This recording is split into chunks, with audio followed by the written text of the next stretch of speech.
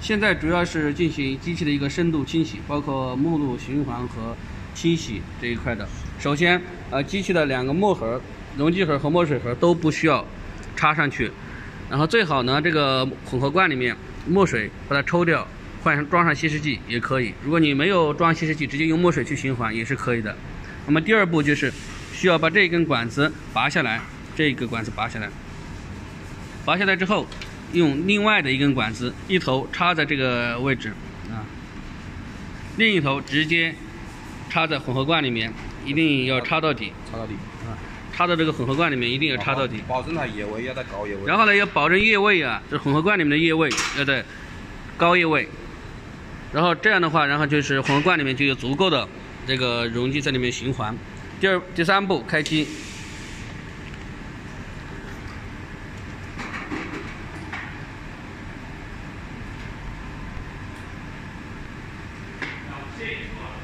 开机之后，直接长按设备相关，输入密码四九八八幺二幺二，确定。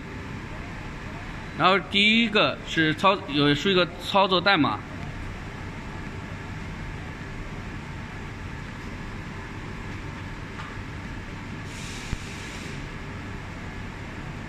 好，然后点确定。